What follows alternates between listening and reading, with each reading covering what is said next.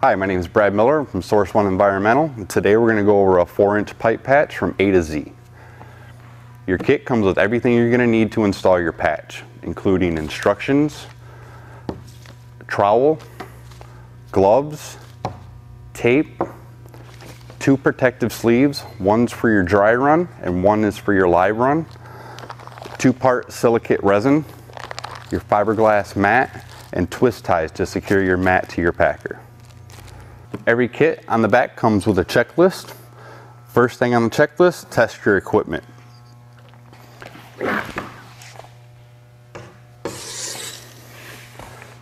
Since we're doing a four inch patch, we use a four inch piece of pipe to test your packer in. You're gonna inflate it.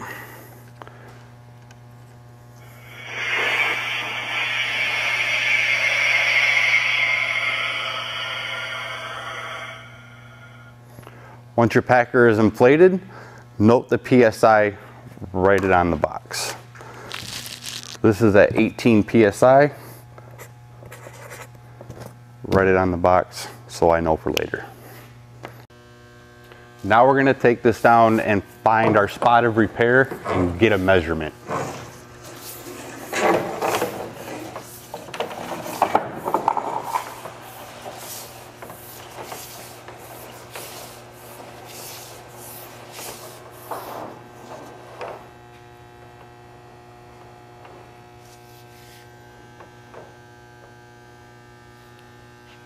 There's a spot of the break and we're gonna take this camera head directly underneath it. Directly underneath, now we're gonna make a hard mark, a tape mark.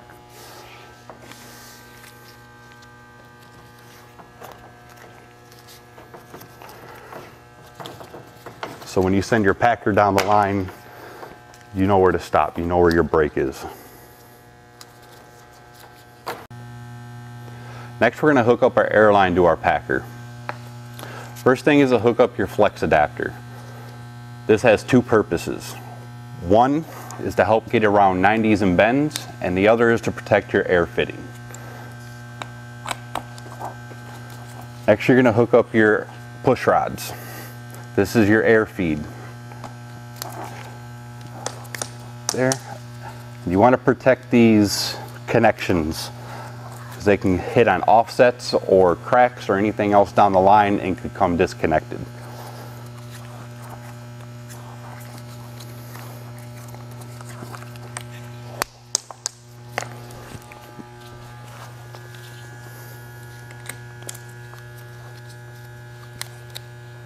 We want to start on this far coupling that has a lip. We don't want that to catch on any of the offsets.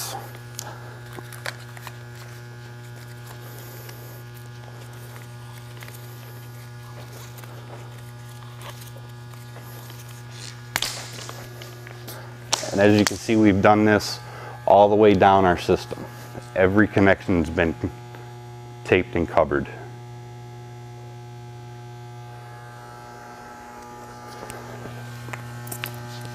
Next, we're gonna hook up our retrieval cable.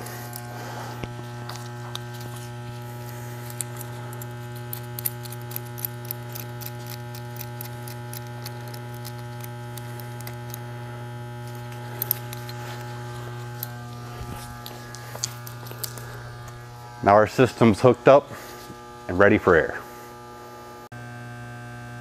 Okay, next we're gonna transfer our measurement. So on the packer, we have pack outlines. This is the edge of your patch. We want the head of this camera to be in the middle of your packer. So we're gonna put it right next to the air system. Make sure that head's right in the middle air system and then we're going to go down to our hard mark that we made earlier. Here's our hard mark.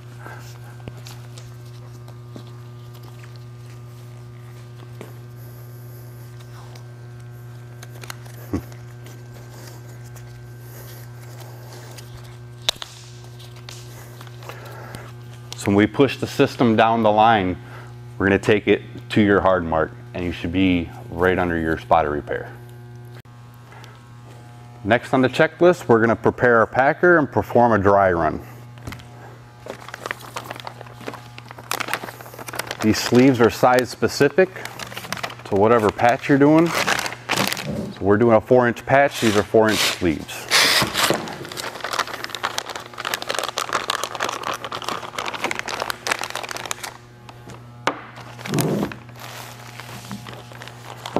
Okay, so you want to put your packer in the middle, in the middle of the sleeve. You're going to pinch it tight. One side's going to go up, one side's going to go down.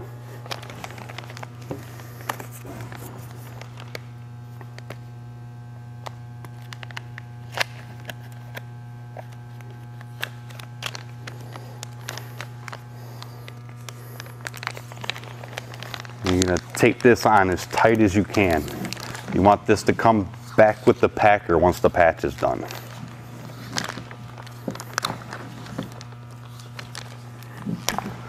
On the other end, whatever side you flipped up on this end, you want on this side also. So one side up, the other side down.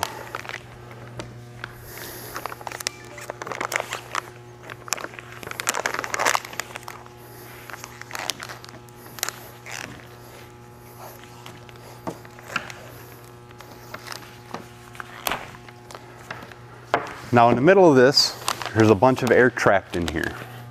So what we need to do is on these fins that you've created when you folded these flaps, just make a quarter inch slit to allow air to release from the middle on all four fins.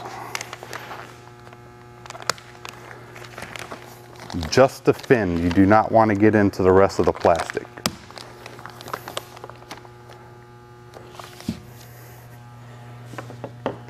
Now our packer is prepared for the dry run. Now we're going to hook our packer back up to our airlines and send it down to make sure we can get the packer to the spot of repair. This is the dry run.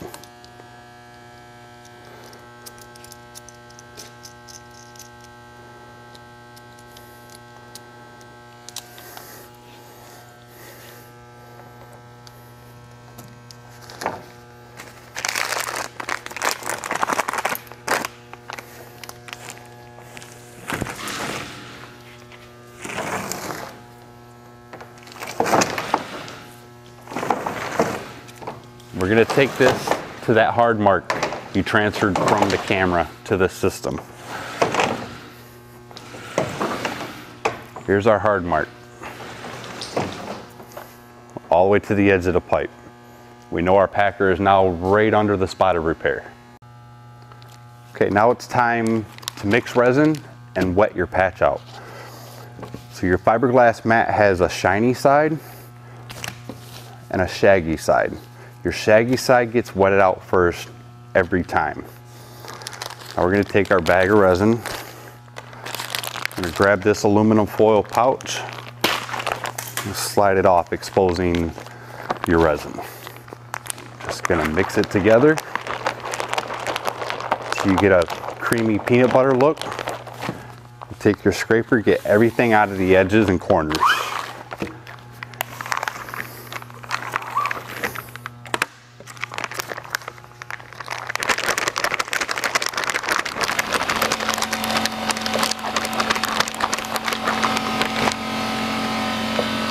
It's the color you want.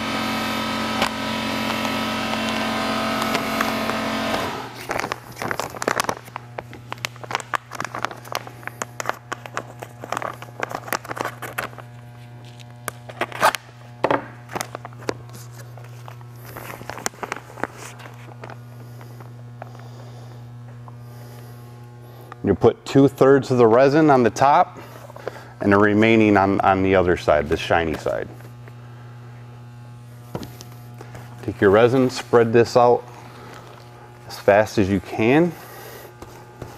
You're gonna cover all the white. Make sure everything's saturated all the way through.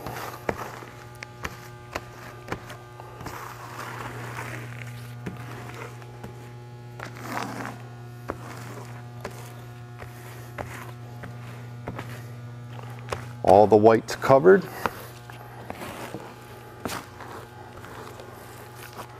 So now we're gonna take our patch and flip it over to the shiny side. And the remaining of your resin goes on this side.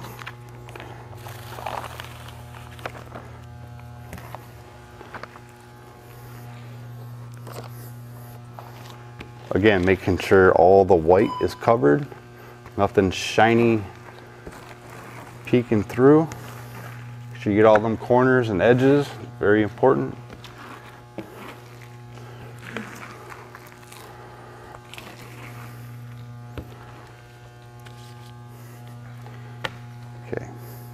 So you're gonna take one side and bring it to the middle. You're gonna bring the other side to the middle and you're gonna overlap the other side about an inch. So from this edge to this edge should be two, two feet. Fold your plastic over to keep the mess out.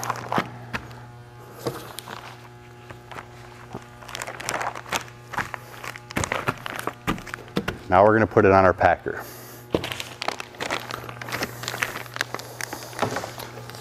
The pack outlines that I mentioned earlier, those are gonna go to the edge of your patch. You want that patch in between your pack outlines. I'm gonna take the edge, making sure that the plastic's tucked underneath and not in between your patch. Make sure it's rolled on tight.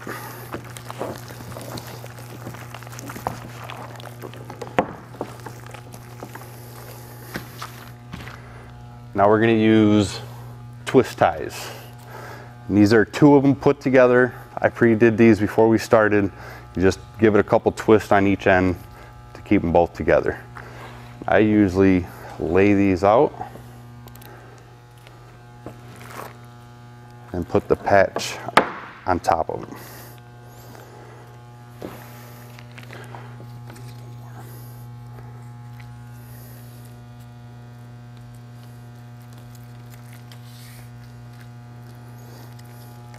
So we use four ties, two really close together in the front because this front edge gets the most abuse going through concrete pipe, hitting offsets, things like that could peel this patch back. We don't want that. What we're gonna do, bring it up, cinch it down tight, twist, twist. That's all you need. You don't need any more than that because it could break the ties.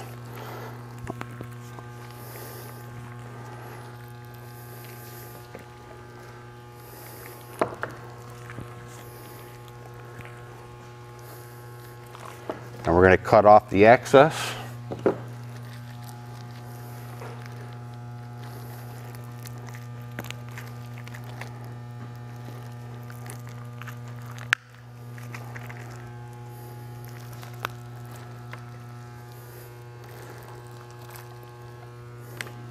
Now our patch is ready to be put in the line. Now we're going to send our patch down the line and repair that spot.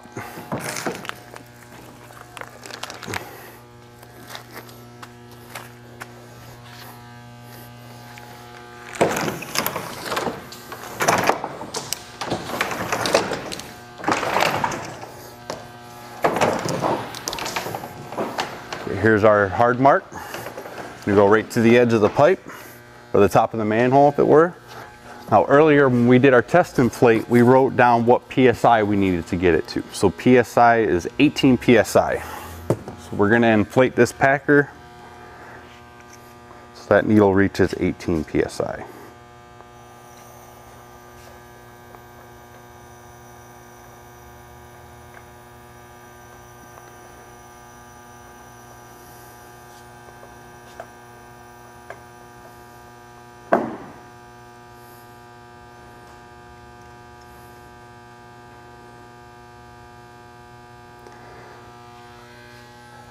And now on every kit has a cure time depending on what temperature it is. So we're inside, we're about 73 degrees. Working time, we have 15 to 17 minutes. Cure time, we have 60 to 70 minutes. So about an hour to hour and 20 minutes cure time at this temperature. Okay, it's been an hour and a half. We're gonna deflate and remove our packer.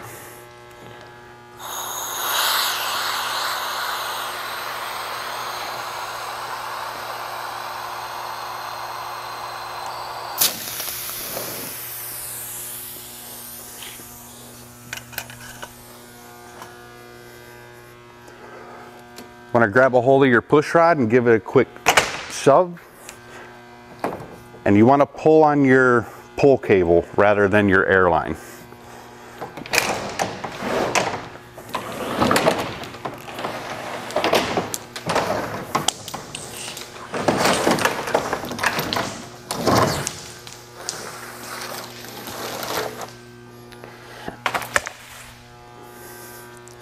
We're going to go down and check out our patch.